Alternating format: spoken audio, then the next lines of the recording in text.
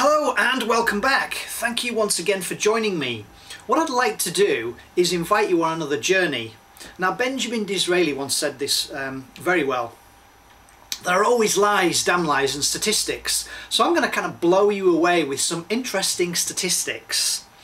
And if you don't believe any of the stats I'm providing to you, then please go and do your own due diligence or your own homework.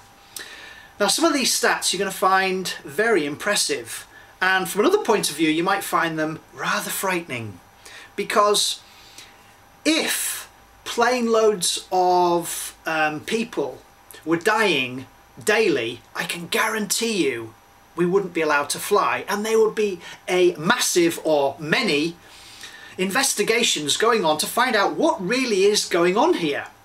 However, because we do have, from one point of view, an insidious culture that accepts its reality as it is, and because it's not in the media a lot of the time reminding people that really you do have smarter choices, that's why I'm here now, just to remind you. I'm going to be speaking to you about orthomolecular medicine and allopathic, and there are some crossovers. But let me just show you, for those of you more visual, some interesting stats. So if you look on here, on this little sheet that I've provided, obviously on the left side orthomolecular, and for those of you that don't know what orthomolecular is, it's a term that comes from ortho, which is a Greek for correct or right, and obviously molecule, which is the simplest structure that displays the characteristics of a compound. It literally means the right molecule. And if you have heard of a gentleman called Linus Pauling, who was a two-time Nobel Prize winner, he basically termed this in 1968 in what he uh, called orthomolecular psychiatry. And then on the other side, you've obviously got um, the other term, which is called allopathic medicine.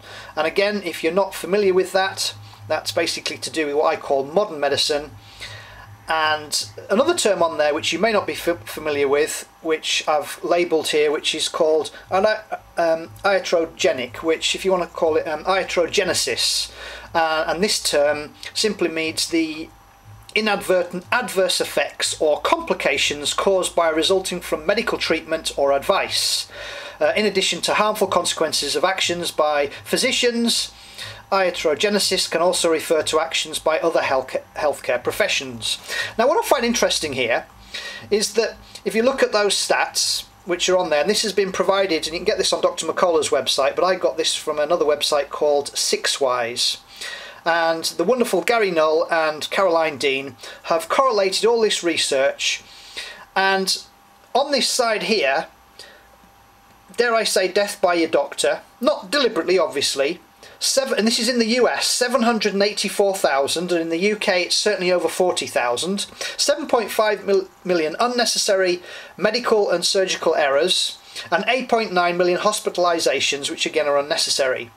And then if you look on this orthomolecular side, over 25 years, there have only been 12 registered deaths through taking supplements, which I would label as um, vitamins, minerals and herbs. That means not even one death every year. Now one death is certainly something to be aware of, but when we as a collective are killing hundreds of thousands of people daily through pure ignorance, wake up people! And uh, you know, it's funny, I was just outside a moment ago and I saw this, this young man drinking a pop of Coke, Coca-Cola, totally unaware because it tastes good that it's actually killing him. So in other words, to be absorbed, digested, assimilated and eliminated, it will cost more than it delivers, but in those few moments he'll have a high and then his body obviously trying to get rid of it as quickly as he can, he'll have a, a crashing low and other orthomolecular medicine type um, vitamins and minerals would be leached from his body in order to process that dysfunctional crap sad standard American diet or bad British American diet and it just kind of blows me away. But even with that information it's not that we don't know this people aren't applying it because it's not mainstream media stuff showing us or inviting us on a journey to take control of ourselves. I'm just like wow. But literally yearly 700, over 784,000 people die through medical errors. I mean, what more information do you... I remember a great quote um, from Margaret Thatcher, and this was to um, a former principal that I used to work for at a university, uh, Professor Roger Brown, and he used to work in government. And he said to Margaret Thatcher, this was at the time when he worked in the government, is there no amount of information available that will make you change your point of view? In other words, what more do you want? And this was talking about the miners' strike back in the early 80s.